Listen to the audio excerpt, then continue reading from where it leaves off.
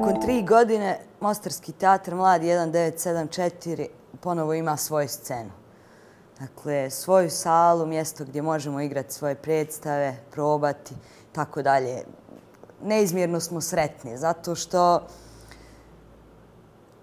teško je bilo da, da živimo u gradu kojem nemamo mogućnosti da igramo, da pokažemo, a naše predstave uglavnom negdje crpimo inspiraciju iz tog mjesta gdje živimo, dakle iz Mostara. Ako govori predstava o Mostaru, nastala je negdje tu i ne možete da igrate, boli to mnogo.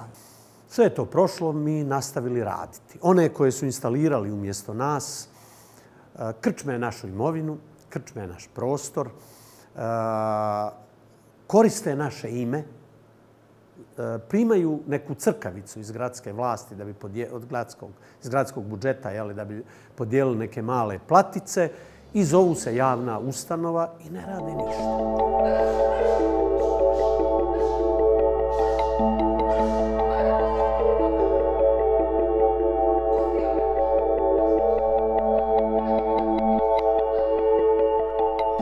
Meni se ponekad činilo da su ove vlasti naše bosanske, jer su tako napale na, na kulturu i na umjetnost, da su negdje krenuli da se vode po onoj, ako želite da uništite jedan narod, prvo uništite kulturu.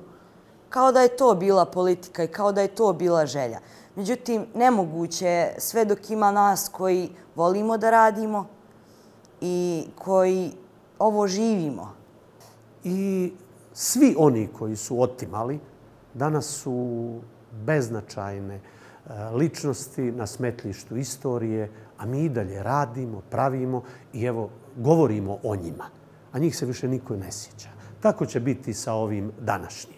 Jer u suštini eh, ostavili su iza sebe ponor, ostavili su beznađe, ostavili su opustošen, razoren, gladan grad.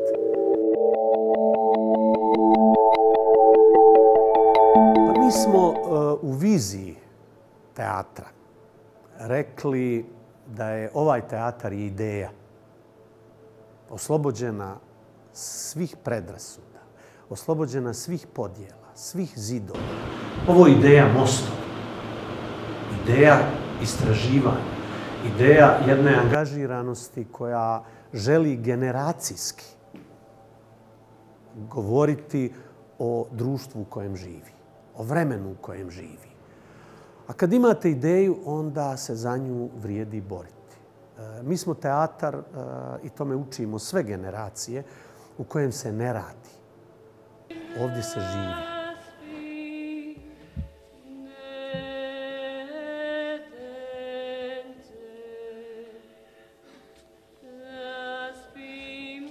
Daje im se prostor da zapravo a, dođu do, do vlastitog mišljenja, da, da, do svog stava, ma kakav god on bio, kroz analizu, ne znam, kada, kada počinjemo raditi sa grupom, osnovno je da vidimo šta oni hoće, šta, šta, je to, šta bi oni željeli da se bave. Pa se malo zaprepastimo u početku, ako je nova grupa, ako su svi novi, kako imaju problem sa željama, ovaj, pa kad prođe neko vrijeme, malo se oslobode kroz razne dramske igre, vidimo da zapravo žele mnogo toga i mnogo su lijepe želje, mnogo bi ih voljeli i ostvariti, ali da se na neki način plaše da ih iskažu. Meni je žao što u Bosni i Hercegovini imamo obrazovanje koje je katastrofalno, koje je užasno, ponekad mi se čini da bismo više znali da se uopšte djeca ne obrazuju, nego ovako kako se obrazuju. Pa sada smo najviše na jednoj predstavi koja se zove Život je san. Obično se ta knjiga daje kao lektira u gimnaziji. Onaj, mogu vam reći da nije baš pretjerano komplikovana, ali je stvarno interesantna.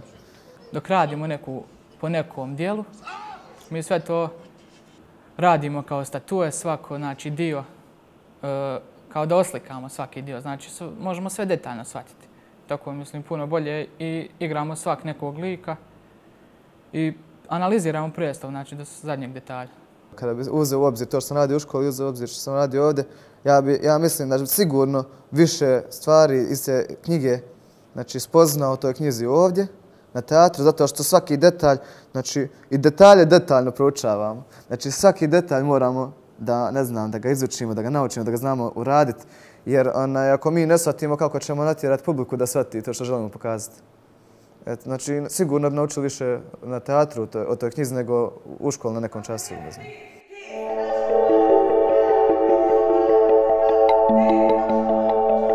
Ono što je za mene poredeći sve te brojne generacije porazno, da su u vremenu nevjerovatnih komunikacija, u vremenu kada u dijeliću sekunde e, imamo sve moguće informacije e, iz svijeta, kad e, smo povezani sa cijelim svijetom, mladi ljudi su maksimalno neinformisani,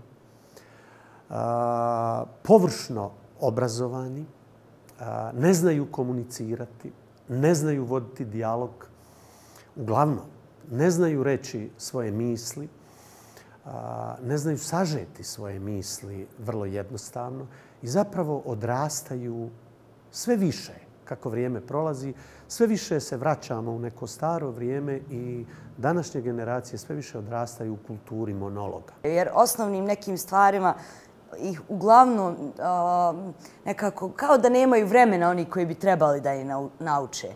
Osnovnim nekim stvarima u životu od ne znam kako pozdraviti, kako sjesti, kako reći i kad reći svoje mišljenje, kako dati sebi prostor da imaš svoje mišljenje.